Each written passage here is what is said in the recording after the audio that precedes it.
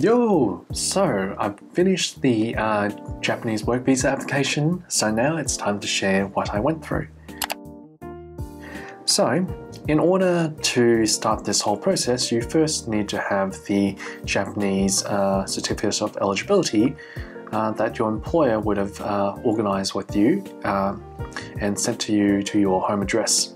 So once you've got that original document, the next part is to find out how you apply for your work uh, visa.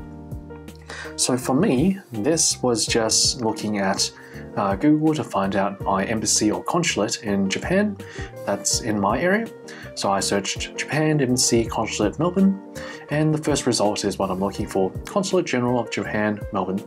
So if I go into this link, uh, the first thing I'll find is on the navigation bar we've got visa and travel. So this is what I'm looking for as I'm trying to find out my visa information. So if I click on this, we can then see this page load up. And this has all the details that are required for my work visa application. So as you can see, list of required documents to apply for visa, except for tourists. Because I'm uh, doing a work visa, I'm looking for a business visa. And you know, I had to pay attention to this because uh, they no longer process visas at their consulate or embassy directly. Instead, I had to go through another agency in order to do this whole process. And then down below here, we have the required documents. So here we can see a list of 11 types of documents. And if we look at the right side, we have short term and long term. As I am going for the long term, I'm going to focus on this section. So the first document that I require for long term is a valid passport. And this is just providing your original passport and one photocopy. Uh, for me, this was in black and white. And that was it for that document. The next part is Australian visa. Because I'm born here in Australia, my nationality is Australian, I don't need to provide this. Uh, then we have the visa application form. So this one, we can see that I've got an option for PDF or Excel. I just downloaded the PDF one, printed it out and, you know, hand filled it out. So in this visa application form, you can expect that you'll need to provide a photo in the right specifications as uh, printed out here, 45 by 35 millimeters. And then if we scroll down, we have our passport details. So in here, uh, we just give in the usual details like our surname, name, uh, our date of birth, our place of birth, our sex, our marital status, our nationality or citizenship. And then down here was one that I wasn't too sure of when I first read this uh, application form. ID number issued to you by your government. In Australia, we don't really have an ID when we're like born, really. Uh, but once I confirm what this was, this could be like your driver's license number, and that's what I put in here. And then you have passport type, for me just ordinary, and my passport number. Place of issue and issuing authority, as I'm in Australia, this was just putting Australia or AUS into these fields. Uh, this is the same as what you see on your passport. So for me, this was AUS.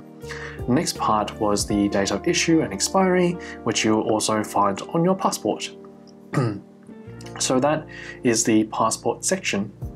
The next section is uh, regarding your uh, reason to going to Japan. So for me, the purpose of visit was to work, and the intended length of stay, I wasn't too sure exactly what to reference for this, so I used my certificate of eligibility validity period as the reference, which was five years.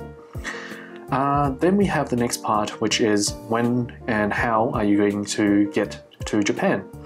So for this part, you can put in, uh, you know, uh, temporary details or, you know, just details that you're uh, thinking that you'll be arriving in Japan with.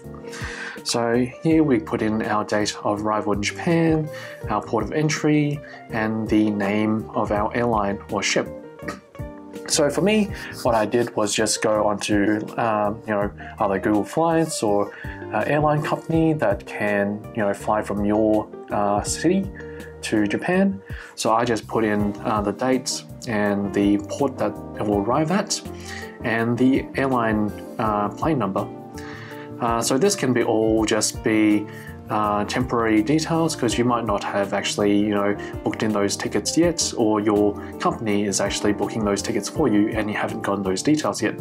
So you can just put in some uh, temporary information in here just to get past this visa application stage. The next part is to uh, put down your itinerary. Uh, so this is this part is where you're going to be staying. Uh, my company provided me with a temporary address, so that's what I put in here. Uh, and also the date of my previous stay in Japan and how many days it took. Uh, next part is just about your home information. So your residential address out of your current uh, residential area in your home country and your contact details. then some information about your current employment, which here is uh, what you're currently doing in your current uh, home country and who is employing you in your home country. Then after that, we have uh, this section. Because I'm coming by myself, my partner and occupation details aren't required. And then the next part is guarantor or reference in Japan. So this for me was my uh, employer. So they gave me their details for this so as they are a company, I just have to provide name, address, and relationship to applicant. Uh, the other details are only for people or person. uh, uh, yeah. And then the next section is the inviter. Because this is the same as my guarantor, I put the same details as I did for the guarantor section. And finally, we have this section which uh, checks if you've committed any crimes. so, you know, have you been convicted, sentenced, imprisoned, deported, uh, done drug offense, prostitution, trafficking? Uh, for me, this was all no, but if you did say yes to any of these, then you have to provide details in this box below. And finally, uh, it's the date of application, so putting in the date that I filled this out and signing it. And that was all that was it for the visa application form. So if we go back, we have a look at what's next.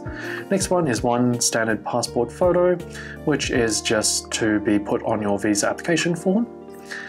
And if we go down one more, the next one is the certificate of ERFS. So the certificate of ERFS is a document that is uh, created or uh, given to you by your employer.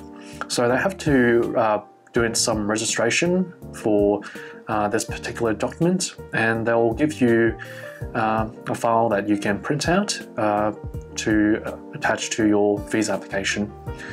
Um, so I'm not too sure if this has a standard look, uh, but for me, uh, if I go to this site, it takes you to this Japanese site, and yeah, this you don't have to really worry about because your employer would fill this out for you and provide it to you. The next part is the certificate of eligibility. Quite simple, this was the prerequisite before you can start this uh, work application visa. And yeah, you'll have that already. And the last one is a support letter from the same sponsor if your COE was issued more than three months before the application date. Um, since mine was nice and fresh, uh, this wasn't an issue for me and I didn't need this. So, in summary, all I had to provide was a passport, my photocopy of that passport, my visa application form, a passport photo for that visa application form, the ERFS file or document, and my certificate of eligibility. And that was all it took. Um, so they gave me an estimate of how long this would take uh, to process of 5 to 14 days, but the reality was it took uh, 3 days. So it got processed on the same day and I was able to pick up my passport with the visa uh, stuck onto it along with the certificate of eligibility on uh, the third day. So yeah, that's pretty much it for this video. I hope that was uh, useful and that's pretty much it uh, for the work visa application. Quite simple, straight and quite straightforward. That's it. Alright, catch you later. Bye bye.